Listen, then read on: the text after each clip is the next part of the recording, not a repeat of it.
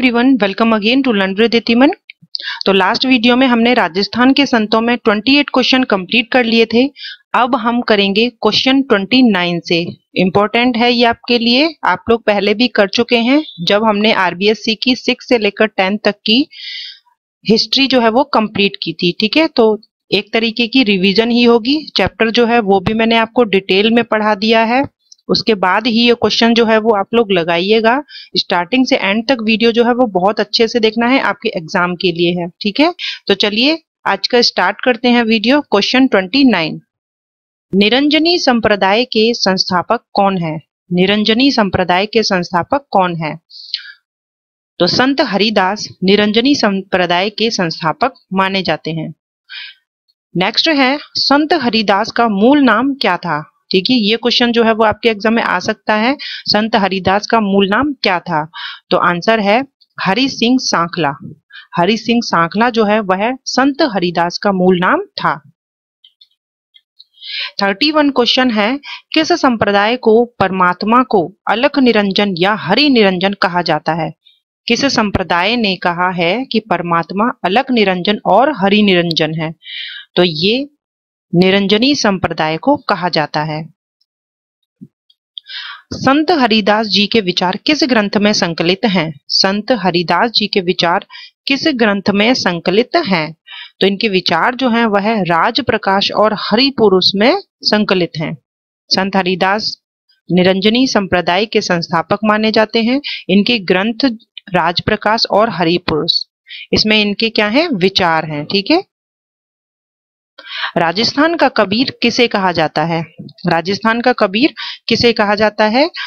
तो संत दादू दयाल को राजस्थान का कबीर कहा जाता है। नेक्स्ट है क्वेश्चन थर्टी फोर संत दादू दयाल का जन्म कहाँ हुआ था? संत दादू दयाल का जन्म कहाँ हुआ था? तो ये क्वेश्चन जो है वो आप लोग पहले भी कर चुके हो। सिक्स से टेंथ तक की जब हिस्ट्री आप लोगों ने की थी तो यहाँ आपकी एक तरीके की रिवीजन ही चल रही है। संत दादू दयाल का जन्म जो है वो कहाँ हुआ था? गुजरात, अहमदाबाद में 1544 ईस्वी में। दादू दयाल ने शिक्षा किससे ली थी? दादू दयाल ने दीक्षा जो है वह किससे ली थी? तो इन्होंने बुद्ध नामक संत से ली थी, ठीक है? जिन्हें वृद्धानंद भी कहते हैं। नेक्स्ट है thirty six question Dadu Dayal Fatehpur Sikri की यात्रा कब और क्यों की? दादू दयाल ने फतेहपुर सीकरी की यात्रा कब की और क्यों की? तो इन्होंने 1585 ईस्वी में मुगल सम्राट अकबर से भेंट करने के लिए फतेहपुर सीकरी की यात्रा की। दादू दयाल की मृत्यु कहाँ हुई थी? दादू दयाल की मृत्यु कहाँ हुई थी? इनका जन्म अहमदाबाद में हुआ था और मृत्यु जो है वो नारायणा में हुई थी 1603 ईस्वी में। दादू दयाल की मृत्यु 1603 ईस्वी में फुलेरा के पास ग्राम नारायणा में हुई थी। नेक्स्ट है 38 क्वेश्चन दादू दयाल के उपदेश किस ग्रंथ में मिलते हैं? दादू दयाल के उपदेश किस ग्रंथ में मिलते हैं? तो इनके उपदेश दादू जी की वाणी तथा दादू रा दुहा, इन दोनों ग्रंथों में मिलते हैं, ठीक है? तो देखिए, ये पूरी डिटेल जो है वो हम लोग कर चुके हैं तो मैं बार बार एक्सप्लेन नहीं करूँगी। यदि आपने सिक्स से टेंथ तक की आरबीएससी की बुक नहीं देखी है तो प्लेलिस्ट में जाकर देखिएगा। वहाँ पर एकदम डिटेल में मैंने आपको सारी चीज़ें करवा रखी हैं। फिर भी मैं यहाँ पर एक भी क्वेश्चन जो है वो नहीं छोड़ती हूँ, ताकि आप लोगों की दोबारा से रिवीजन हो सके। दादू दयाल के प्रमुख शिष्य कौन थे? दादू दयाल के प्रमुख शिष्य कौन थे? गरीब दास, मिस्किन दास, सुंदर दास, बखना जी, रज्जब और माधव दास। जिसमें सुंदर दास और रज्जब जो है वो सबसे प्रमुख है। तो इनके सभी के ही नाम याद रखने हैं। गरीब दास, मिस्किन दास, सुंदर दास, बखना जी रज्जब और माधव दास। राजस्थान की राधा किसे कहा जाता है? तो राजस्थान के कबीर किसे कहा गया? संत दादू दयाल को। वही राजस्थान की राधा जो है, वह मीराबाई को कहा जाता है। नेक्स्ट है, मीराबाई का जन्म कहाँ हुआ था? तो इंपॉर्टेंट है कि इनका जन्म जो है, वह चौदह ईस्वी में। गाँव कुड़की, जो पाली में है, वहाँ हुआ था मेड़ता के राठौड़ राव दूधा के पुत्र रतन सिंह की ये पुत्री थी। तो इनके पिता का नाम रतन सिंह, दादा का नाम राव दूधा ये भी आपसे एग्ज़ाम में पूछा जा सकता है। मीराबाई के पति का क्या नाम था? तो लास्ट ईयर आप लोगों ने एग्ज़ाम दिया था। आपको पता है, ये क्वेश्चन आपके एग्ज़ाम में पूछा गया था। आंसर था भोजराज, जो कि राणा सांगा के बड़े बेटे थे। मीराबाई को कौन मारना चाहता था? मीराबाई को कौन मारना चाहता था? इनकी पति की मृत्यु के बाद। तो इन्हें मीरा के जो देवर थे, राणा विक्रमादित्य, इन्होंने इनको जहर देने की भी कोशिश की थी। तो हम लोगों ने स्टोरी जो है वो चैप्टर में ही पढ़ी हुई है। तो दो तीन बार मैंने इन चीज़ों को आप लोगों को पढ़ा दिया है। कृष्ण भक्ति का विचार मीरा को किससे प्राप्त हुआ था? कृष्ण भक्ति का विचार मीरा को किससे प्राप्त हुआ था? तो आपकी आरबीएससी की बुक में दिया है कि मीरा की दादी इनसे इन्हें कृष्ण भक्ति का विचार प्राप्त हुआ था। अगला है 45 क्वेश्चन मीरा अपने अंतिम समय कहाँ रही थी? मीरा अपने अंतिम समय में कहाँ रही थी?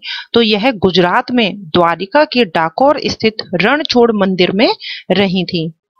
नेक्स्ट है 46 क्वेश्चन तो राजस्थान की राधा जो है, वह मीराबाई को कहा जाता है। तो राजस्थान की जो दूसरी मीरा है, वह किसे कहा जाता है?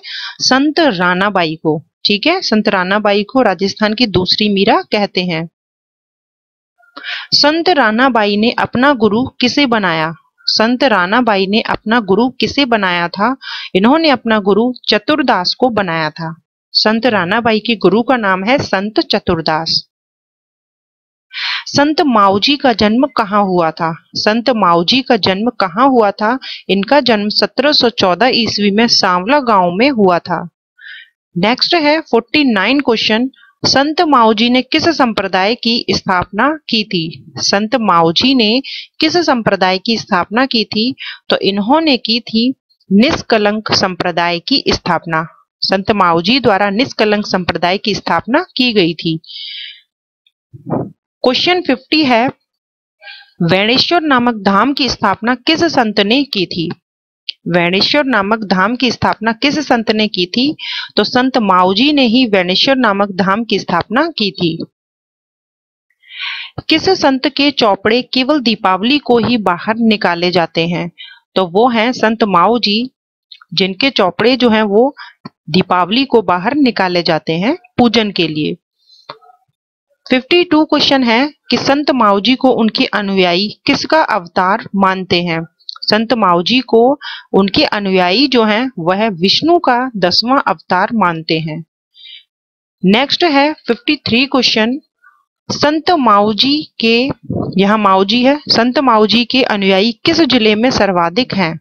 तो संत माऊजी के अनुयायी जो हैं, वह डूंगरपुर ज़िले में सर्वाधिक हैं। इनका मेला जो है वह कहाँ लगता है? संत माऊजी का मेला जो है वह कहाँ लगता है? तो ये वैणेश्वर धाम, माघ शुक्ल पूर्णिमा, सोम जाखम और माही नदियों के त्रिवेणी संगम पर बांसवाड़ा और डूंगरपुर की सीमा पर पड़ता है तो वहाँ पर इनका मेला जो है वह लगता है। और डूंगरपुर के जो निवासी हैं, वो इनकी सब सर्वाधिक पूजा करते हैं। नेक्स्ट देखिए रामचरण जी का मूल नाम क्या था? रामचरण जी का मूल नाम क्या था? तो इनका मूल नाम जो है इंपॉर्टेंट है राम किशन रामचरण जी का मूल नाम था। रामचरण जी का जन्म कहाँ हुआ था? तो इनका जन्म जो है, वह जयपुर ज़िले के सोडा गाँव में 1719 ईस्वी को हुआ था। रामचरण जी का जन्म कहाँ हुआ था? इनका जन्म जयपुर ज़िले के सोडा गाँव में 1719 ईस्वी को हुआ था। देखिए, एक कमेंट आया था जिसमें ये कहा गया था कि इन क्वेश्चन को आप एक्सप्लेन करा करिए। तो एक्सप्लेन करने की ज़रूरत नहीं है क्योंकि आरबीएससी की जब हमने बुक की थी, वहाँ पर बहुत सारी डिटेल में हमने क्वेश्चन आंसर किए थे। यहाँ पर भी कर रहे हैं, हम लोगों ने चैप्टर भी पढ़ लिया है। इससे ज़्यादा एक्सप्लेन और क्या हो सकता है? तो यदि किसी ने भी नहीं देखा है तो आरबीएससी की सिक्स से टेंथ तक की कंप्लीट हिस्ट्री जो है पहले वो देखिए, उसके बाद आप राजस्थान की हिस्ट्री में क्वेश्चन आंसर को करिए, ठीक है? रामकिशन जी ने दीक्षा किससे ली थी? तो रामकिशन जी ने दीक्षा जो है, वह महाराज कृपा राम जी से ली थी, जो कि मेवाड़ के दांतड़ा गाँव में है। मूर्ति पूजन से परेशान होकर रामचरण जी कहाँ चले गए थे? मूर्ति पूजन से परेशान होकर रामचरण जी कोहाड़ा ग्राम में चले गए थे। नेक्स्ट है 59 क्वेश्चन रामचरण जी के रहने के लिए शाहपुरा में छतरी का निर्माण किसने करवाया था? रामचरण जी के रहने के लिए शाहपुरा में छतरी का निर्माण किसने करवाया था? तो शाहपुरा नरेश रण सिंह ने। शाहपुरा नरेश रण सिंह ने शाहपुरा में ही छतरी का निर्माण करवाया था रामचरण जी के रहने के लिए। रामचरण जी का निधन कहाँ हुआ था? रामचरण जी का निधन कहाँ हुआ था? इनका निधन शाहपुरा में ही हुआ था सत्रह ईस्वी में। नेक्स्ट देखिए, रामचरण जी के उपदेश किस ग्रंथ में संकलित हैं? रामचरण जी के उपदेश जो हैं, वह अड़भेवाड़ी नामक ग्रंथ में संकलित हैं। नेक्स्ट है 62 क्वेश्चन राम स्नेही संप्रदाय की स्थापना किसने की थी? राम स्नेही संप्रदाय की स्थापना जो है, वह रामचरण जी ने ही की थी। राम स्नेही संप्रदाय की स्थापना।